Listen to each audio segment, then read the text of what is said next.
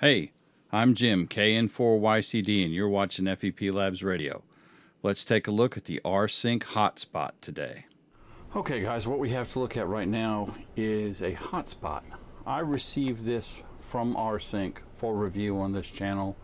I did not purchase this. The kind folks there sent this to me and asked me to do a video review of the device.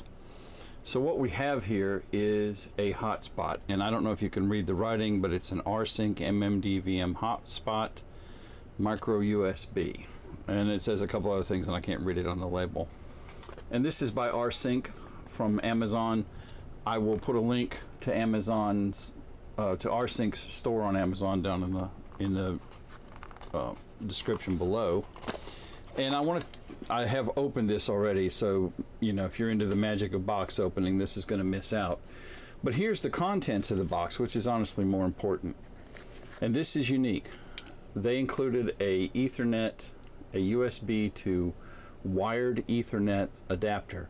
So this is cool. That means that you can plug this guy directly into your wired network and access him without having to go through the Wi-Fi setup. Um, I have a fairly complex network here at my house. So for me, this is pretty cool because I don't have to fool around with doing it on the Wi-Fi. I have plenty of network switch ports. I can stick it on a network switch and I'm good to go.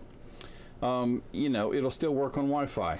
The device itself is based on a Raspberry Pi Zero, a Raspberry Pi Zero 2W, the newest um, Raspberry Pi Zero model.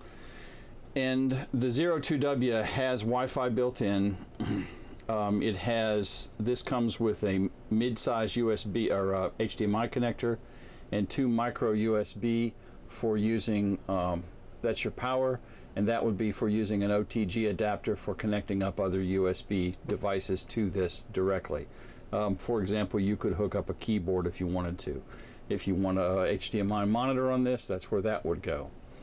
Of course, it has an SMA antenna port. It comes with an SMA um, antenna. It also comes with a 90 degree adapter for the antenna. So if you want to mount this in a vertical position, you could fasten this on, you know, like so. And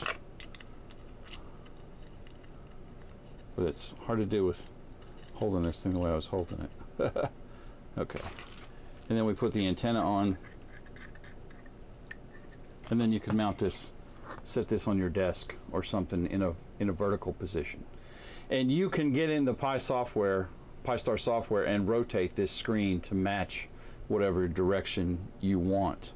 Um, I have a similar model uh, it may even be from AURSINC that I've had for a couple years.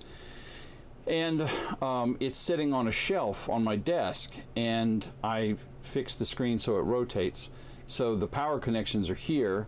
So it sits like this. So the power wire's coming off the top and I have the screen set so where I can read it by looking straight at it. It's not upside down. So you can rotate this screen in, um, in three or four different directions and that's in the Pi-Star software. As far as Pi-Star goes, this is a Raspberry Pi 02W, as I said, with an MMDVM board on it. Um, also from AURSINC. This comes with a SanDisk 16 gig micro SD card included in the box as well with the Raspberry Pi image preloaded on it. So all you have to do is put power and network to this and you are good to go. Let me pop this case off real quick and we can take a sneak peek inside of this one. I tell you, these little metal cases, get on there and they don't want to come off. There we go. So you can see here it is a standard Raspberry Pi Zero style setup and that's what it is in there. This one has heat sinks on it which is nice. Um, that is not standard with the Raspberry Pi Zero 2W so this is some thoughtful add-on that the nice people at AURSINC have done. The construction on this is well made, very solid. I love the screen that is a OLED screen.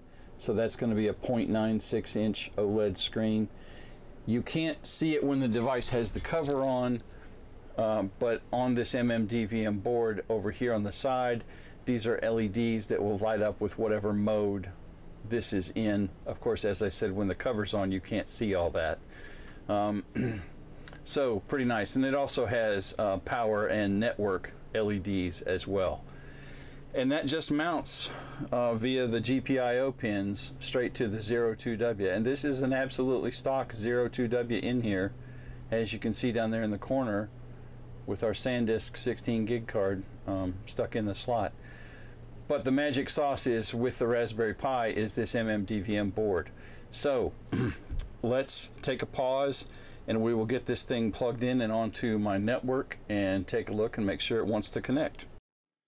All right, so I've connected to our hotspot and gotten it configured. And I didn't want to make this video about how to configure a Raspberry Pi. This is about the hotspot itself. But as you can see, we're configured. I'm using 438.950. This is a single radio hotspot, so it's simplex. Um, there are available hotspots that have two transceivers on them, but this particular model only has one.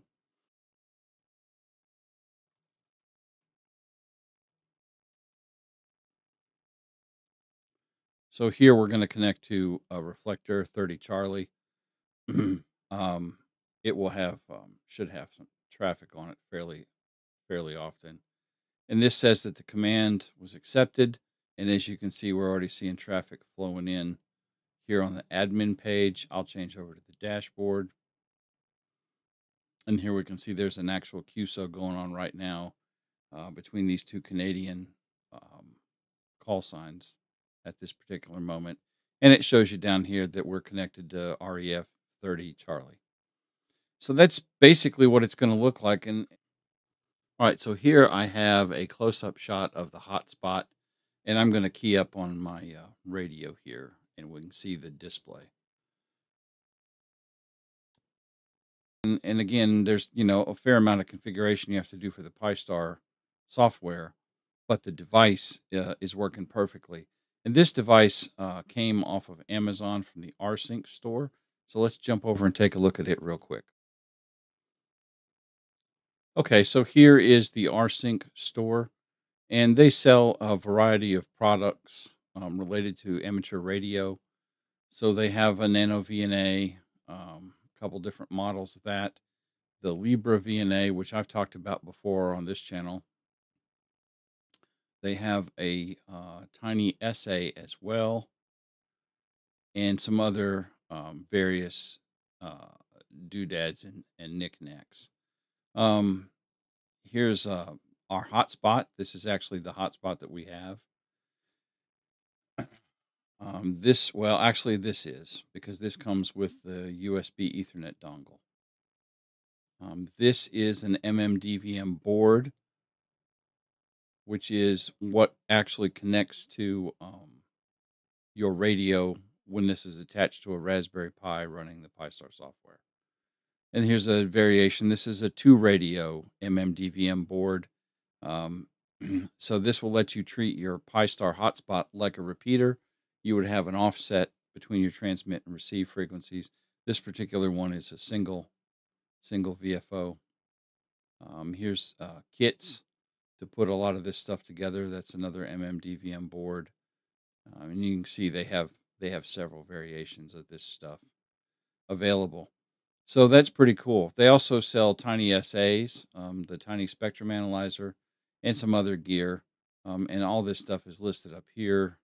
There's the spectrum analyzer, um, which is a cool device if you don't have one. Of course, the Nano VNA, which is also a very handy device for amateur radio, and then the hotspot stuff that we've talked about. So that's um that's what I've looked at today, guys. I hope you got something out of this. Thank you for stopping by. Um, make sure you hit uh, share and uh, like and subscribe to this video if you got something out of it. Um, that's it. 73, guys.